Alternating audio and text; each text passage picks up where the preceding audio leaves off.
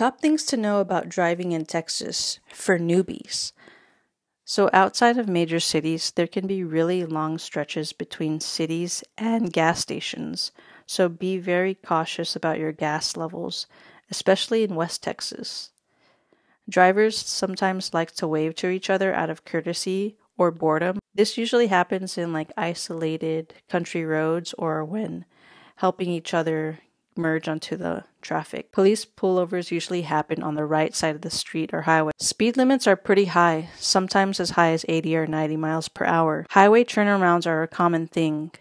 There's a lane solely de- dedicated to U turns underneath highway overpasses. Texas has some of the highest car insurance rates in the United States because of the size of the state. Frontage roads are just the access roads next to the highway. Highway merge lanes typically the person on the highway is the one to yield to the person that's entering into the highway. And these merge lanes have a really long entry ramp to getting onto the highway. Texas is really well known for its hot weather, but because the state is so large, weather can vary a lot.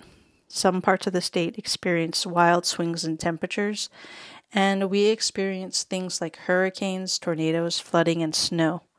So be careful out there.